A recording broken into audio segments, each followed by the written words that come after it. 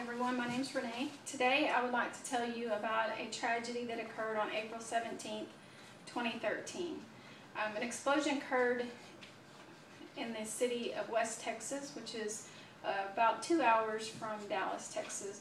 This is a picture of what the town looked like before the explosion. As you can see, um, this fertilizer plant was located very closely to a middle school, a playground, a nursing home, and a high school, which uh, is really crazy considering um, that the biggest fertilizer explosion was the Oklahoma bombing.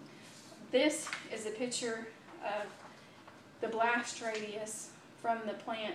Here's the core of the fertilizer plant, and you can see that it reached all the way out, and a very large portion of the nursing home was destroyed.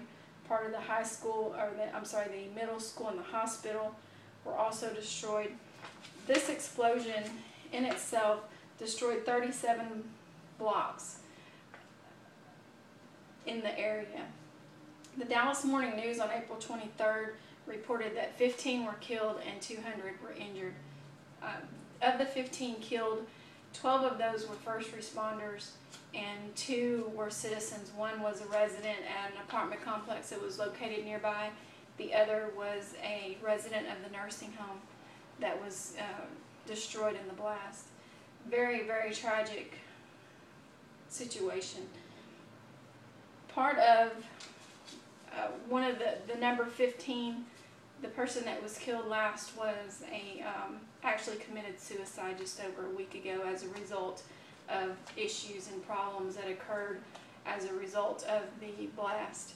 The a lot of the injuries that they're seeing and those that were killed or that were injured are um, glass injuries, like glass in their eyes and their skin throughout their body from people that were in their homes when the homes exploded and glass from the windows uh, just shattered into their homes. Roofs were listed, lifted off of houses. It was phenomenal, um, the injuries and the damage that, that was caused.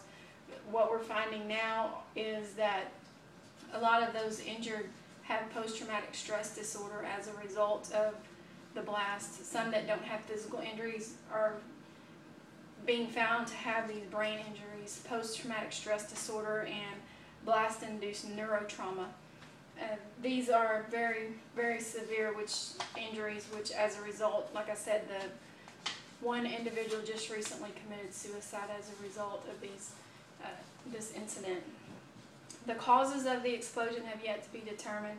There was an investigation by ATF and the Texas fire marshals that lasted over a month with hundreds of interviews taken and witnesses interviewed and um, lots of information collected.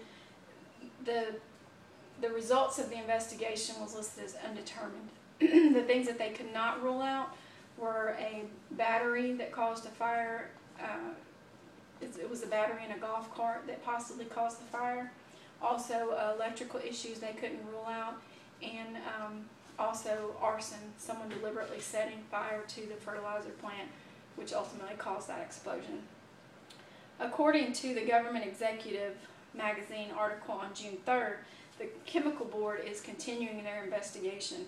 The Chemical Board is very upset because they were shut out of the investigation completely by ATF and the Texas fire marshals. They weren't allowed to participate in the investigation at all, although you would think that they would be because they're the chemical board and obviously the fertilizer plant was, uh,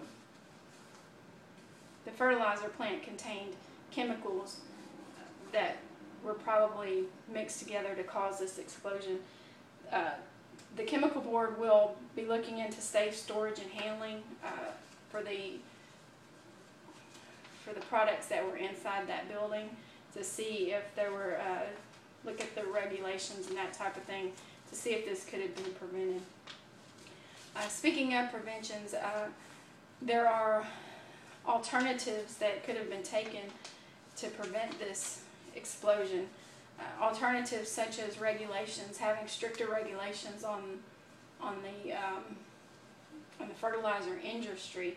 As far as we know and research has uh, shown that the fertilizer industry is very um, is not very regulated. They have, um, they're, they're not closely regulated. No one keeps track of who has what. They don't have to report to anyone. There's just no, there's a very strong lack of regulation there. Also, uh, alternatives would be alternative products. There are products that are being used overseas right now that uh, it's the same fertilizer, only it's it's um, coated with a protective coating that will keep it from getting so hot that it does eventually explode. Um, so that's just a little bit of the history of the tragedy of April seventeenth, twenty thirteen.